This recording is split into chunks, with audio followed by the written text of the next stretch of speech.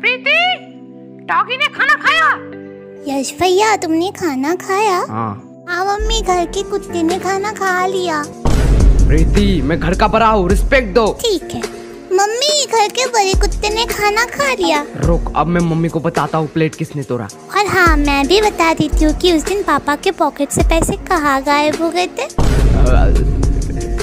ठीक है चल तुझे जाने दे रहा हूँ। हाँ चलो पैर दबा। क्या? तुझे थोड़ी सी शर्म नहीं आई अपने बड़े भाई से ये काम करवाने में? हेलो पापा। अगर पैसा नहीं कमाएगा तो कैसे खाएँगा? प्यार तो दोबारा भी हो जाएगा। हाँ मेरी जान।